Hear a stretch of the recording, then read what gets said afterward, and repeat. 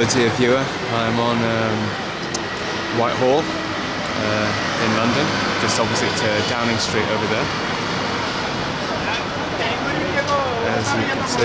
And uh, today is quite a poignant day in this part of the world because, um, or rather yesterday, on the, uh, the 8th of um, April 2013, um, Margaret Thatcher, the former, former Prime Minister, passed away. The Daily Express, and um, it's quite a subdued atmosphere, really, over there on Downing Street, a part of the world that um, she spent many years of her life, 11 years holding the reins of Britain.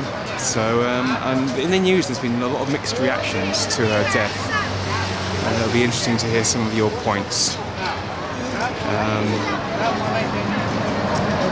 flags at half-mast, it'll be interesting to hear what uh, you think this uh, of the legacy this lady is going to leave behind.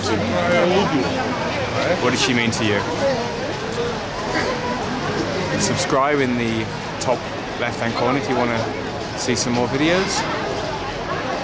And until next time, bye for now.